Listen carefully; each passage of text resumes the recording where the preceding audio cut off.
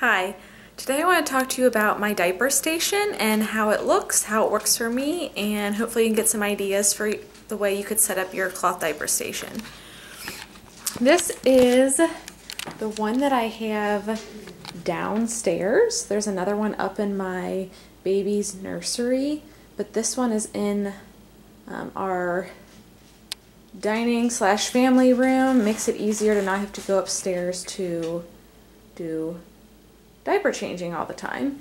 So what I have here is my cloth diapers are down in these baskets.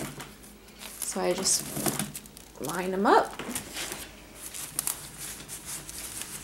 fold them so that they're nice and neat after they come out of laundry. So I can just grab them and go. They already have a liner in them. Next to my diapers, I have my cloth wipes. I just fold them in half. I have our squirt bottle full of water. And this little guy here is coconut oil. I put this on my baby's bottom to um, prevent rashes.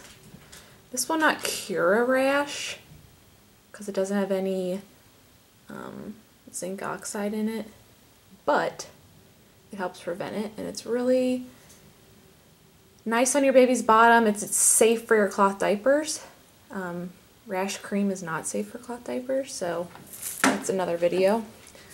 Um, I also have these diaper liners.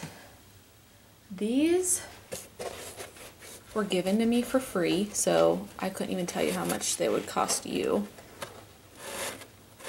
Um, they're really thin. And this is what I would put in between my baby's bottom and the diaper if I were to have to use diaper cream. It just creates a barrier so that the diaper cream doesn't get on your diaper. I have some burp cloths, slippers. That's my breast pump, which I don't really use. And my wet bag hanging on the side. I use a dry wet bag, which kind of sounds like an oxymoron. um,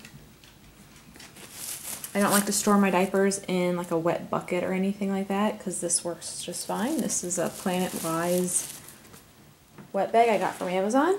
And so, yeah, I guess I also have lotion for me mainly after um, using the hand sanitizer. I don't use that for my baby, that's for me. Um, but there it is. Helps me keep organized and that's all I need to do cloth diapering.